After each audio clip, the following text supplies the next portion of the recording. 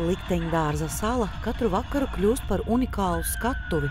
Ik pēc 20 minūtēm apmeklētāji sāk savu ceļu uz kādu no 17 vietām, sekojot balsī un gaismu norādēm.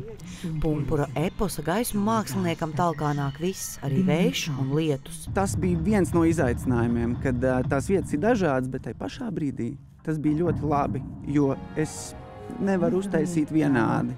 Man palīdz daba, man palīdz vējš, man palīdz ūdens. Un mēs tiešām ar Kārli ņēmām visus arī tos elementus un centāmies viņus integrēt. Koklis? Tagad kopā bēgsim projām. Šeit nedrīkst kavēties. Mēs arī paši varam radīt lietas, kas ir unikālas pasaulē, kur nav līdzvērtīgu. Mums katram saprast, cik manī ir no laimdotas, spīdalas, no kangara, no lāčplēša un burtnieka.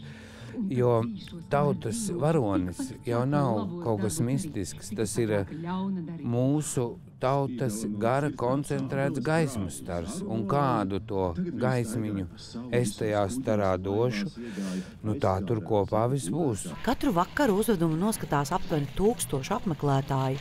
Tas ilgs stundu un 24 minūtes svaigā gaisā, vienalga lietus vai sniegs.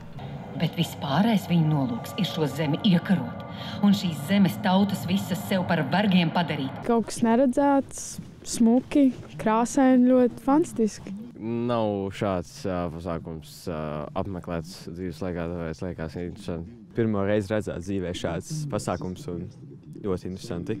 Parasti jau tā, ka nepatīk tie eposi vai nekad skolā jālasa.